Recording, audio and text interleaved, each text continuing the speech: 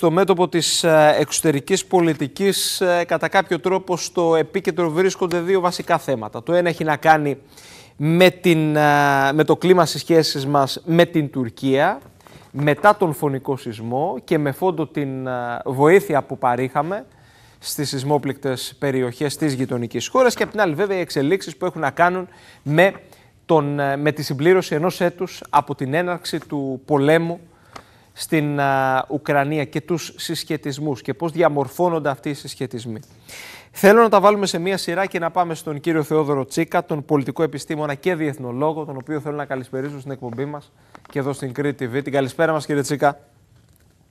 Γεια σας κύριε Παναγιωτόπουλο από την Αθήνα. Σας ευχαριστώ θερμά. Θέλω λίγο να τα βάλουμε όπως προείπα σε μία σειρά, να ξεκινήσουμε λίγο με το κλίμα το οποίο έχει διαμορφωθεί στις σχέσεις μας με την ε, Τουρκία και κατά πόσο αυτή η βοήθεια που παρήχαμε ε, αλλάζει λίγο, το κάνει λίγο θετικό και πόσο βέβαια θα διαρκέσει.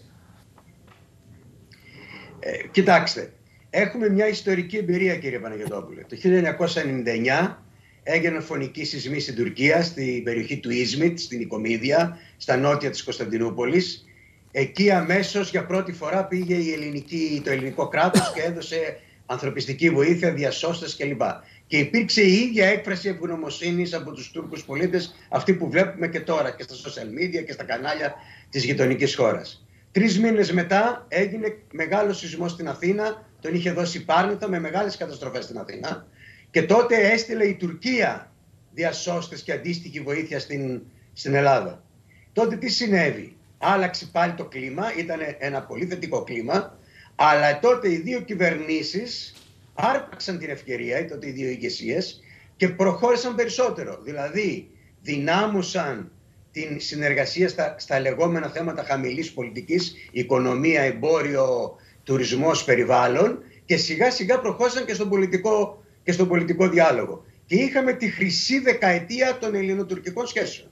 Και μάλιστα παρολίγο να φτάσουμε και, στην, και στο Διεθνές Δικαστήριο της Χάγης λίγα χρόνια αργότερα και, στη, και στην επίλυση του Κυπριακού με το σχέδιο Ανάν και ούτω καθεξής. Τι δείχνει αυτό; Αυτό δείχνει ότι όταν το κλίμα αλλάζει ε, ε, ε, διαμορφώνεται και μια αντίστοιχη ας το πω πίεση, κίνητρο και στις πολιτικές ηγεσίες. Δεν αρκεί όμως αυτό, πρέπει και οι πολιτικές ηγεσίες να δείχνουν την απαραίτητη βούληση, την απαραίτητη πολιτική βούληση, να το αρπάξουν αυτό και να μπορέσουν να το κάνουν πολιτική πράξη. Οπότε Επομένως, γενικά. Νομίζω ναι. Ναι, πόσο ρεαλιστικές είναι Μπορούμε οι αναφορές. Ναι. Σε ένα γενικό επίπεδο ότι γυρίζουμε σελίδα, ότι θα γυρίσουμε σελίδα. Κοιτάξτε. Ε, κα, Καταρχάς, ε, τι συμβαίνει συνήθως στις δύο κοινωνίες, κύριε Παναγιώτοπουλο, το έχουμε, το έχουμε δει πολλές φορές αυτό.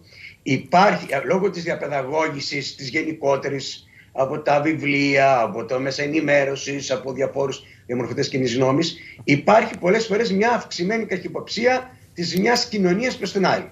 Της ελληνικής προς την Τουρκία και της τουρκικής και της Τουρκικής προς την Ελλάδα.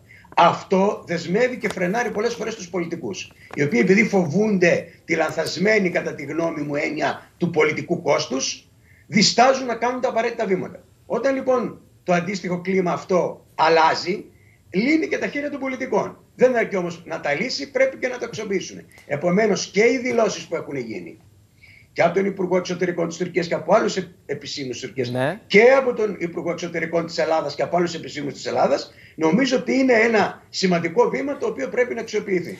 Η παρουσία του Αμερικανού Υπουργού Εξωτερικών και στην Τουρκία και στην Ελλάδα πριν από λίγα 24 ώρα, μέσα σε λίγα 24 ώρα.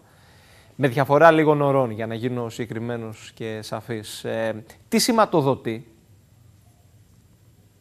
Το ταξίδι του κυρίου Μπλίνκεν ήταν ένα ταξίδι που είχε ετοιμαστεί πρώτος σεισμών. Ε, ήθελε η Αμερικανική διπλωματία να κάνει ένα υψηλού επίπεδου ταξίδι στην ευρύτερη περιοχή. Η ατζέντα παραμένει η ίδια, όμως παρέμεινε η ίδια αναφορικά με το περιεχόμενο των συζητήσεων; Δεν παρέμεινε η ίδια, διότι τα άλλαξε αντικειμενικά ο σεισμός. Ο σκοπός είναι ο ίδιος. Αλλά αλλάζει πια το τοπίο. Δηλαδή, ο αν ερχόταν πριν τους σεισμούς, ποιο ήταν το τοπίο; Το τοπίο ήταν ότι δύο χώρες πηγαίνανε σε εκλογική αναμέτρηση σε ένα κλίμα υψηλής φραστικής έντασης. Ο στόχος λοιπόν θα ήταν να πέσει η φραστική ένταση ή και αν ακόμα δεν πέσει η φραστική ένταση, να μην πάμε και σε ένταση στην πράξη, στο πεδίο. Τώρα βέβαια είναι λίγο διαφορετικά. Δεν έχουμε φραστική ένταση, έχει αλλάξει εντελώς το κλίμα της συζήτησης ανάμεσα στην Ελλάδα και την Τουρκία, ακόμα και ο εσωτερικός διάλογος στην Τουρκία. έχει αλλάξει. Επομένως τώρα το μήνυμα ποιο είναι, ότι να αξιοποιήσουμε την ευκαιρία να προχωρήσουμε. Ποιος είναι ο στόχος, Ο στόχος είναι η επίλυση των ελληνοτουρκικών διαφορών. Είτε με διμερή διαπραγμάτευση απευθείας ανάμεσα στις δύο χώρες, είτε με προσφυγή, με από κοινού προσφυγή στο Διεθνές Δικαστήριο της Χάγης. Αυτό νομίζω ότι είναι το βασικό. Αποκαλύφθηκαν και κάποιες διπλωματικές επαφές που είχαν υπάρξει και δεν είχαν δει το φως της δημοσιότητας. Αποκαλύφθηκαν την δεδομένη χρονική στιγμή. Κοιτάξτε, ε, ξέραμε ότι είχε υπάρξει μια συνάντηση ανάμεσα στον κύριο πολιτικό και διπλωματικό σύμβουλο του Προέδρου Εντογάν, τον κύριο Ισμαήλ Καλή. Δεν ξέραμε για την πρόταση των και, έξι σημείων όμως. Και τη διπλωματική σύμβουλο του Πρωθυπουργού στο Βερολίνο με μεσολάβηση της, της, της γερμανικής κυβέρνησης. Δεν ξέραμε όμως τι είχε υποθεί μέσα εκεί. Έτσι. Λοιπόν, αυτό το είπε ο, ο, ο Υπουργός Εξωτερικών της Τουρκίας. Αυτά που μάθαμε βέβαια δεν είναι κάτι συγκλονιστικό υπό την έννοια ότι έχουμε συγκεκριμένα τραπέζια στα οποία, πάνω στα οποία συζητάει η Ελλάδα και η Τουρκία. Τα είχαμε και πριν τα οποία όμως είχαν σταματήσει. Ναι. Το ένα είναι οι διερευνητικές συνομιλίες. Το άλλο είναι συνομιλίες κυρίως σε στρατιωτικό επίπεδο για μέτρα οικοδόμησης εμπιστοσύνης στο Αιγαίο, πώς να γίνονται οι ασκήσεις, να μην δημιουργείται ένταση, να μην καταλαμβάνουν πολύ μεγάλο χρονικό διάστημα οι ασκήσεις, προκειμένου να αποφύγουμε επεισόδια. Και υπάρχει και ένας διάλογος στο εσωτερικό του ΝΑΤΟ, διότι εκεί πέρα είχε, ε, είχε εγκατασταθεί με πρόταση του Γενικού Γραμματέα του ΝΑΤΟ ένας μηχανισμός αποκλιμάκωσης. Να παίρνεις τηλέφωνο και να λες: Παιδιά, εδώ πάει να γίνει κάτι συγκρατηθείτε. Ουσιαστικά αυτό που μας είπε ο κ. Τσαβούσογλου είναι να, να ξαναγίνει ο διάλογος, να επανέλθουμε στα τρία, στα τρία αυτά τραπέζια. Αυτό είναι κάτι θετικό, νομίζω. Τώρα στα υπόλοιπα ακόμα δεν τα ξέρουμε.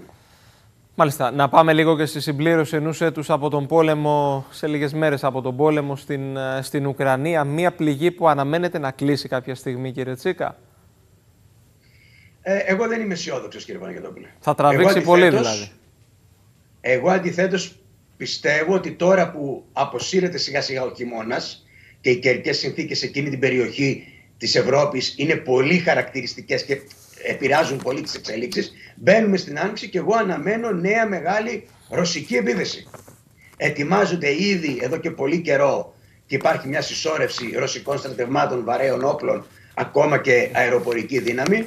Έχουν προσθέσει και 300.000 ανθρώπους επιστρατευμένους πολίτες που επιστρατεύτηκαν, οι οποίοι έχουν εκπαιδευτεί τρει-τέσσερι μήνες. Και εγώ πιστεύω ότι με την έναρξη της Άνοιξης θα έχουμε μια μεγάλη ε, επίθεση, η οποία φυσικά θα γίνει η προσπάθεια να αποκλειστεί από τους Ουκρανούς. Πιστεύω άρα ότι πάμε σε μια κλιμάκωση. Δεν πιστεύω ότι πάμε Αν σε ολοκληρωνόταν αύριο ο πόλεμος, ηττημένος και χαμένος, ποιος θα ήταν; Και κερδισμένος. Ηττημένος και κερδισμένος. Αν μπορεί κάποιος να θεωρηθεί κερδισμένος ναι. μέσα από μια ε, πολεμική ναι. σύραξη. Ναι, σωστό, σωστό. Κοιτάξτε, θα σας πω το εξής. Σίγουρα δεν έχει νικήσει ο Πούτιν και η Ρωσία. Αυτό είναι βέβαιο. Δεν ξέρω αν έχουν κερδίσει οι άλλοι, αλλά δεν έχει κερδίσει η Ρωσία και ο Πούτιν. Δηλαδή όλοι οι στόχοι που είχαν δεν μπόρεσαν να, να εκπληρωθούν. Ε, στην αρχή είχαν την, το στόχο να καταλάβουν το Κίεβο να φύγει η Ουκρανική κυβέρνηση, ο πρόεδρος Ζελέσκη και, και να εγκαταστήσουν μια κυβέρνηση μαριονέτα στο Κίεβο. Μετά θέλουν να καταλάβουν όλη την περιοχή δεξιά ανατολικά του ποταμού Δνήπερου. Ε, τώρα έχουν περιοριστεί ουσιαστικά στις περιοχές που ήδη οι φιλορώσοι αποσχιστές είχαν καταλάβει εδώ και, και αρκετά χρόνια, αλλά και εκεί ακόμα, γίνονται, ακόμα και εκεί γίνονται μάχες. Επομένως μπορούμε να πούμε ότι η Ρωσία και δεν έχει πετύχει τους πολιτικούς στόχους και δεν έχει επιτύχει στρατιωτικούς στόχους υπό την έννοια ότι έχει χάσει ακόμα και εδάφη που κατέκτησε την πρώτη περίοδο της ρωσικής εισβολής ε, στην Ουκρανία και επίσης έχει αδυνατήσει πολύ η διεθνής της θέση. Δηλαδή, ο κόσμος ολόκληρος την παρακολουθεί με εχθρότητα ή με κακυποψία. Οι κυρώσεις συνεχίζουν να τίθενται. Στο τέλος της εβδομάδας θα τεθεί και το 10ο πακέτο οικονομικών κυρώσεων από την Ευρωπαϊκή Ένωση. Αυτό σημαίνει ότι επιβαρύνεται η ρωσική οικονομία και αντιθέτως η, στο, η, αντιθέτως η εικόνα της είναι πολύ πιο αδύναμη από αυτή που ήταν πριν την εισβολή. Ορισμένοι συμμαχοί της αμφισβητούν αν, μπορούν πια να τους, αν μπορεί πια να τους στηρίξει η Ρωσία, στρέφονται αλλού, άλλοι πάνε προς την Κίνα, άλλοι πάνε προς τη Δύση. Άρα νομίζω ότι αν υπάρχει ένας χαμένος είναι η Ρωσία. Από εκεί και πέρα θα δούμε. Μάλιστα. Εκλογές στην Ελλάδα πότε θα ανακοινωθούν ημερομηνία; Στενεύουν τα περιθώρια. Κοιτάξτε, ε, έχουμε και εμείς αυτό το πράγμα. Ε, εγώ πραγματικά το θεωρώ ότι δεν είναι αντάξιο ενός όριμου και ανεπτυγμένου πολιτικού συστήματος. Δεν γίνεται τυφλό με το πότε θα γίνουν εκλογές. Άλλα κράτη ξέρουν την ακριβή ημερομηνία των εκλογών χρόνια πριν. Λοιπόν, ε, εγώ νομίζω ότι, ότι, νομίζω ότι πρέπει να περιμένουμε την πρώτη γύρο των εκλογών πριν το Πάσχα. Πιθανώς στις 9 Απριλίου, την Κυριακή των Βαΐων. Και μετά, εφόσον δεν σχηματιστεί η κυβέρνηση, θα πάμε μετά το Πάσχα, περίπου στα μέσα στα τέλη Εκτίμηση αναφορικά πότε θα προχωρήσει σε ανακοινώσεις ο Πρωθυπουργός; Εάν πάμε στις 9 Μαΐου, Ναι. στις, ε, συγγνώμη, 9 Απριλίου. λάθος, στις 9 Απριλίου, ναι, ε, εγώ νομίζω ότι γύρω στις 10 Μαρτίου πρέπει να βγει το προεδρικό διάταγμα και από εκεί έξω των εκλογών. Ε, για να, γιατί υπάρχουν και όπως ξέρετε και, οι- και οι Σωστά. αντίστοιχες προθεσμίες, οι συνταγματικές, Μέσα οι σε επόμενες διοικητικές δύο και όλες εβδομάδες, αυτές που ορίζει δηλαδή. η εκλογική νομοθεσία. Περίπου. Ε, νομίζω ότι πια και αυτό τώρα το παιχνιδάκι πρέπει να, πρέπει Σωστά. να, πρέπει να σταματήσει. Οι κανόνες του παιχνιδιού πρέπει να είναι καθαροί. Δεν μπορούμε τώρα Μάλιστα. να βγάζουν όλοι ψηφοδέλτια, να πηγαίνουμε όλοι να μιλάνε για εκλογές και να μην ξέρουμε την ακριβή Μάλιστα. ημερομηνία των εκλογών. Λοιπόν. Δεν είναι πολύ σοβαρό. Κύριε Τσίκα, ευχαριστώ θερμά.